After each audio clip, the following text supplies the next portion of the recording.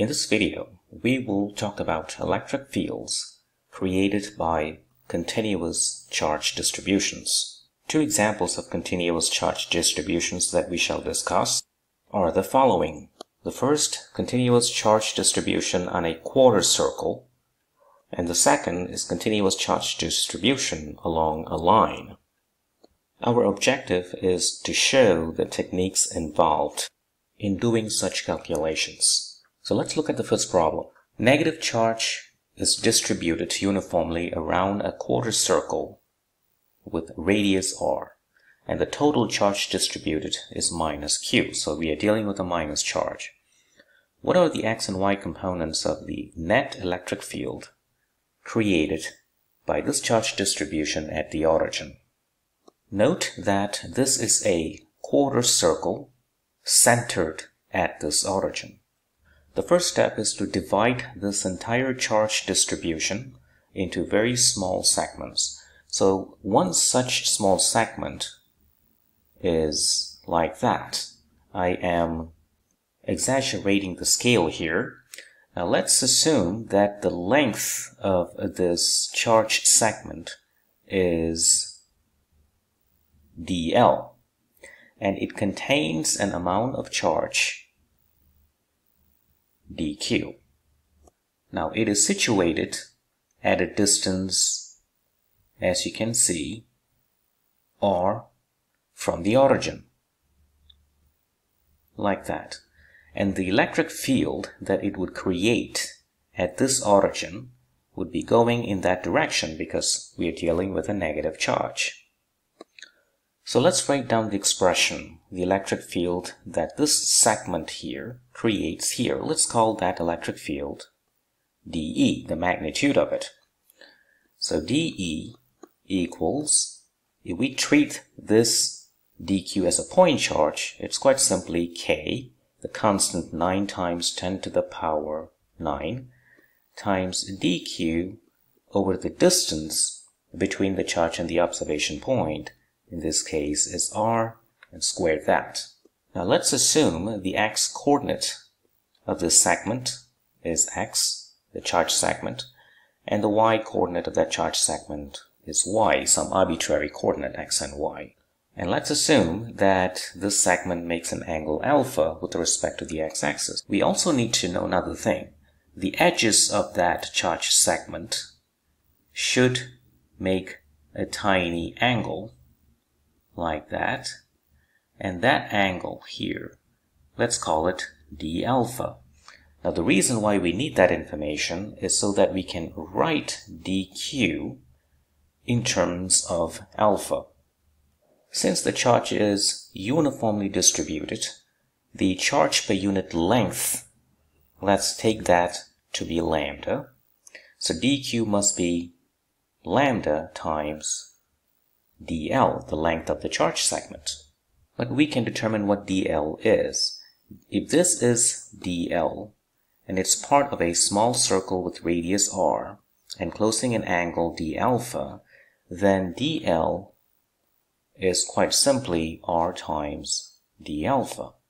Now the charge per unit length lambda is the total charge, which is q in magnitude. We know it's a negative charge, but the magnitude is capital Q divided by the entire length of that quarter circle, which is pi, the radius is r, divide by 2. So that is the length of this quarter circle. So the charge element dq can be written in terms of all these variables over pi r times r d alpha. The r cancels and will give you 2q d alpha over pi. Substituting this result into here, we get k over r squared. dq is 2q over pi d alpha. Now note that this field dE has two components. It has the x component going to the right, let's call it dEx, and y component going up, let's call that dEy. So dEx is dE cosine alpha using trigonometry. and dEy is dE times sine alpha. Substituting this result in here and in here, we can compute the total x and y component of the electric field acting at the origin. So the x component will simply becomes, let's take all the constants out, 2qk over pi r squared integral of cosine alpha d alpha. Now the limit for that integral is when the element is here, the angle is 0. Alpha is 0. When the element is there, alpha is pi over 2 or 90 degrees. So this integral has a value of 1 when it's solved and we get the following for the x component of the electric field at the origin. Now let's do the y component from the second of these uh, two equations. So the y component is given by dE sine alpha. dE is again given by this expression. By putting that into here and taking out the constant out of that integral, you get sine alpha d alpha. And again, the limits would be from 0 to pi over 2. Now note, here I'm using this equation and plug that into that equation and integrate that to give you that. Again, this integral can be solved and be shown to have a value of 1 and that would give you the total answer for the y component as 2kq over pi r squared. Hence, this is the x component of the electric field at the origin produced by this charge distribution, and this is the y component of the electric field at the origin produced by that same charge distribution. And that solves the problem. Now problem two on a line charge. Now this is a finite line charge. It's not a indefinite or infinite line charge. A positive charge Q is distributed uniformly along the positive y-axis between y equals to 0 and y equals to a. So this line charge here contains a total charge of positive capital Q. Now find the x and y components of the electric field this charge distribution produces at a point distance b from the origin along the x-axis. So what is the electric field here? That's what we want to determine, the components of the electric field. We employ the same technique as we did before. We divide up the entire line charge into small segments. An arbitrary segment is somewhere there with a length, say, dy, and contains the amount of charge of, let's say, d little q. So where dq is the linear charge density, let's call it lambda, times the length of that element, dy. Now what is the linear charge density? The total charge is capital Q. So linear charge density is capital Q, the total charge over the entire length, this one which is A. So that is lambda times dy.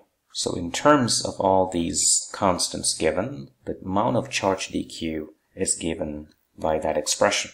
So the direction of the electric field produced by this dq at point B would go like that in a direction that is outward from the charge distribution and dq because this is a positive charge we are dealing with here. So let's call that electric field dE. So what is dE? dE is given by the constant k 9 times 10 to the power 9 times dq over this distance which in this case will be y squared plus b squared. Now, why is that y squared plus b squared? This distance is b. Let's assume that element is at a coordinate y. The y coordinate of that small charge element is y. Now this dy again is the length of that element, so this y is the coordinate of that element. So by Pythagoras theorem, the distance should be y squared plus b squared square root square of that will give you that.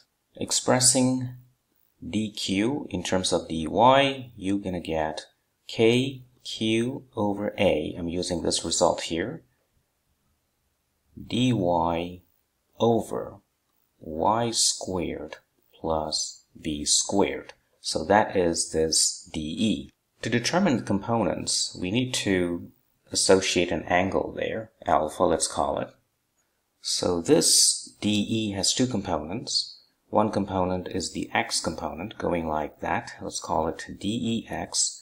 And y component going down. Let's call that dEy. So we have to compute both of them. Now from trigonometry, we know dEx is dE cosine alpha. Note cosine alpha is this distance, which is b, divided by that distance, which we already know, square root of y squared plus b squared.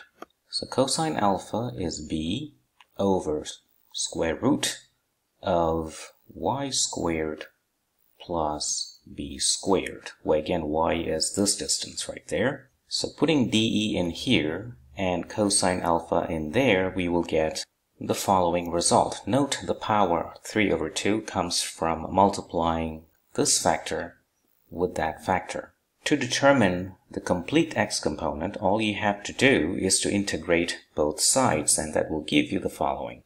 ex is quite simply that. Now the limits of integration is the limits for y. It starts from 0 all the way to the length of that line charge, so it's from 0 to a. Now this is a standard integral from calculus and solving that will give you the following for e sub x. So this is the result of the integral.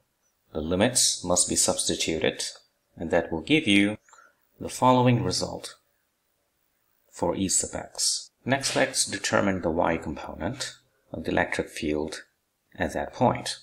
Now the y component can be computed using the following. So dE now sine alpha now what is sine alpha? Sine of this angle is this distance y over that distance. So sine alpha is y over that. So this is this distance right here. As before, substituting dE from that expression and sine alpha from that expression, we, we will get the following result for the y component of the electric field produced by just that element to determine the complete y component of the electric field produced by the entire line charge, all we have to do is to integrate that result, which will look something like that. The limit of integration is again from 0 to a. So that is the minimum limit for y and maximum limit for y as determined by that line charge. Again, this is a constant. It can be taken out of the integral. And the following integral is a standard integral which has the following result. So minus 1 over square root y squared plus b squared. Now we still need to substitute the limits a, 0, and the result would look something like that. After substituting the upper limit and the lower limit, we end up with the following. And this is the y component of the electric field produced by this entire line charge at that point. So together with this expression, which is the x component, we have the complete result for the electric field produced by this line charge at point x equals to b. And that solves the problem. Thank you for watching.